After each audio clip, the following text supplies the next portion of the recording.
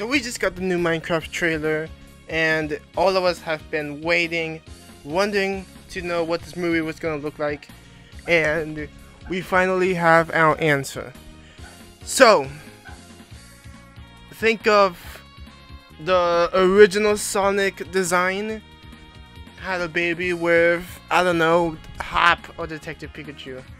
Anyways, we see the main characters, Jason Momoa, these two twins, and this lady that has been revealed to be named Dawn.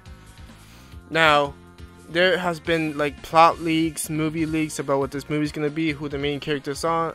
I don't know who they are. I know that Jason Momoa plays um, a character that owns a retro video game store. He he's very he's very stuck in the 80s. He doesn't understand the new video games with new technology is from what my my understanding of the character. I know the two kids are supposed to be brothers. I mean siblings. They're supposed to be siblings and Jack and we see shots of the Minecraft world. It looks I think it looks all right. I just think the humans look very out of place.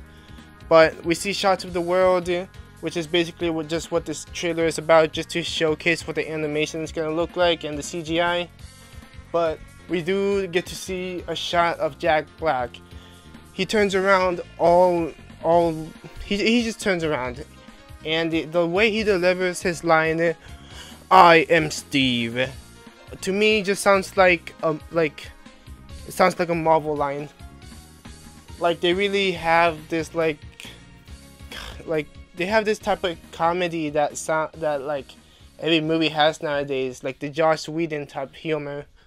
If you know what I'm talking, if you know what I mean, like the way Marvel characters talk, like oh he's right behind me, isn't he?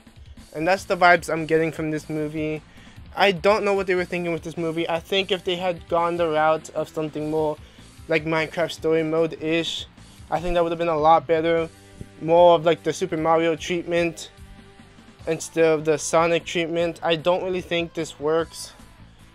Um, I'm still gonna I'm still gonna watch it and see what see what it's about when it comes out, but I don't really think this is gonna work. I think there's gonna be another Borderlands that has recently come out, and that was a bomb. And like the like the Halo Paramount show, like all these like like executive producers making all these video game movies don't understand their target audience, don't understand the genre or the medium that they're that they're adapting, and it's just sad because you have you have these like you have these good, great opportunities. You know what would have been great if they had made a Minecraft movie, a dark fantasy movie. I think that would have been amazing. Just make it dark fantasy, make it animated, or make it all live action but just do something different in the hybrid type of movie. I don't understand it. I don't know what this movie's gonna be.